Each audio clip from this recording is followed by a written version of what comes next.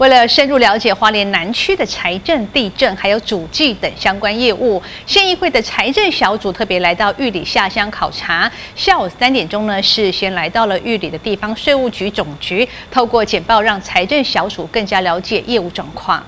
为了深入了解花莲县南区的财政、地震、主计等相关业务，花莲县议会财政小组特地来到玉里下乡考察。下午三点来到地方税务局总局玉里分局听取简报，也进行各方的交流，希望能够让服务更接地气。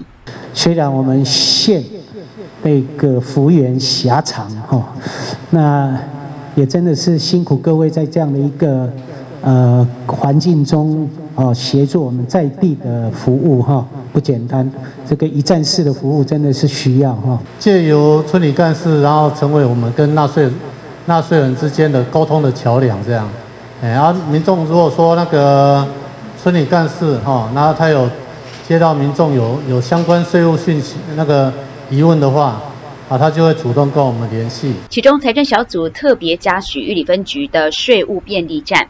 结合了南区的四个乡镇各村里长、村干事以及专员联合建制税务便捷窗口，提供了二十七项的税务服务。